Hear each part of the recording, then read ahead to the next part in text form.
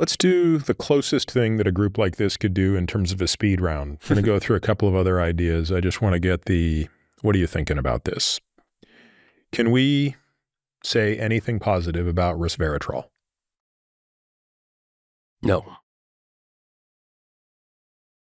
Rich? No. No. Why does this thing not die? Why is there still a Money? hundred different resveratrols being sold on Amazon? Why do I still get people asking me, do you take resveratrol? Should I be taking It resveratrol? has a good PR team.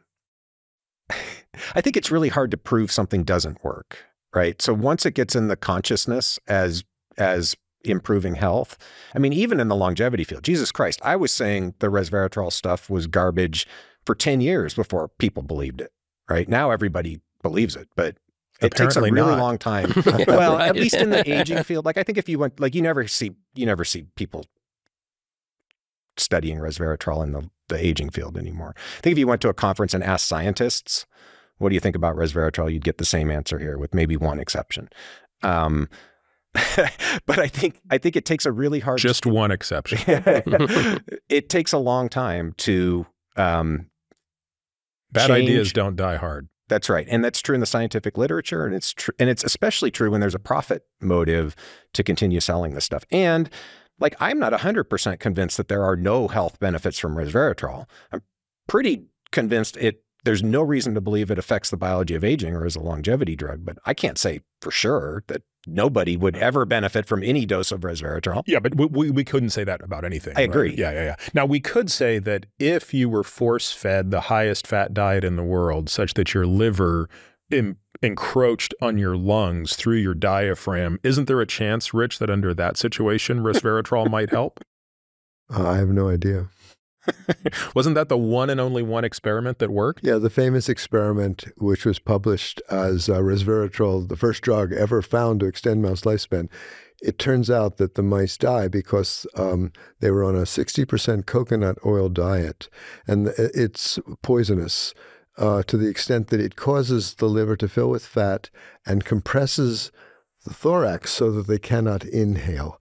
Three or four papers later, they published as a, an obscure paragraph in a discussion section on a paper. Uh, Pearson was the, the first author of the second paper that, uh, oh, by the way, all these mice on the coconut oil diet, finally, we've looked at them. They're all dying because of lung compaction due to uh, expansion of the liver. Um, so the notion that their drug had slowed aging because on the 60% coconut oil diet, it mm, temporarily extended lifespan was due to the prevention of this extremely bizarre phenomenon. I, I just cannot get enough of that story. And uh, It's And- all and all the- documented in, No, the, no, no, in the I- I literature. believe I know it well. I mean, two separate papers. all right, let's have a word on NAD, NR, NMN. Uh, Steve, what is your point of view on this? Well, the current state of evidence, I, I'm I'm skeptical. It's one of those things that makes a great deal of conceptual sense, but the evidence at this point is not very compelling. And we have the ITP evidence that is, I think, the strongest.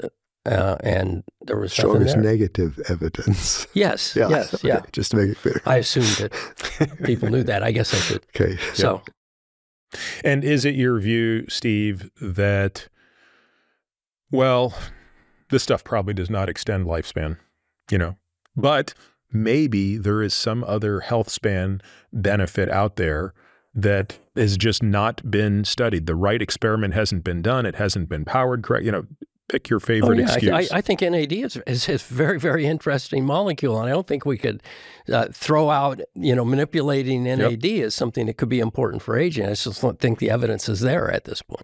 Do you think if you're going to manipulate it, you would have to do it with really, really high intravenous doses, or do you think you could achieve those levels using oral precursors? Mm, that I don't know.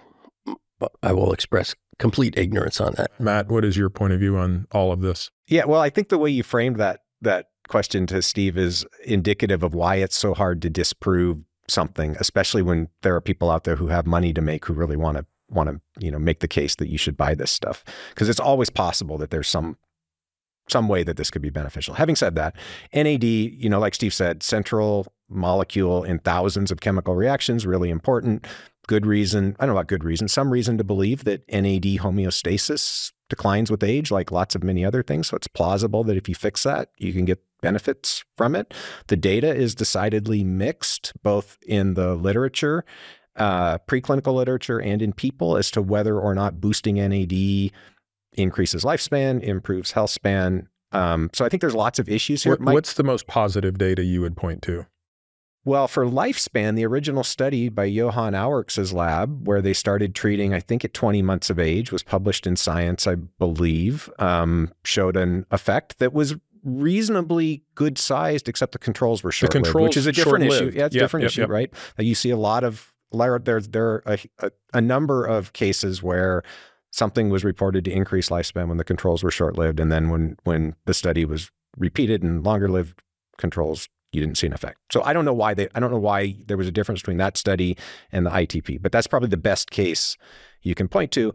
There's studies in C. elegans as well that where where NAD precursors increase lifespan. So there's evidence out there, and again, it's plausible. The biology is plausible.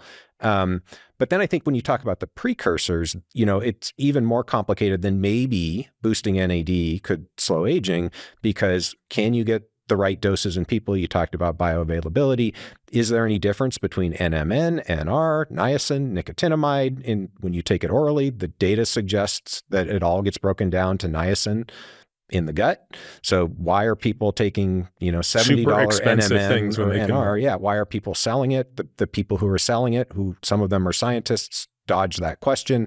I mean, it's it's complicated. I don't personally believe there is enough evidence to to think that NAD precursors as they are being marketed today are likely to benefit most people. Some people, probably people who have um, conditions of dysregulated NAD could get a benefit. I don't think there's any difference between the the various molecules that are being marketed right now.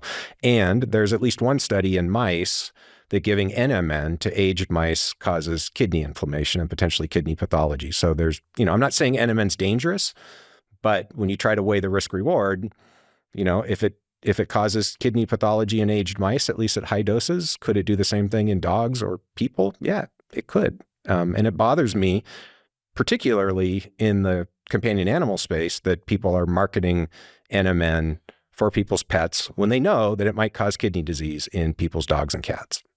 That's problematic to me.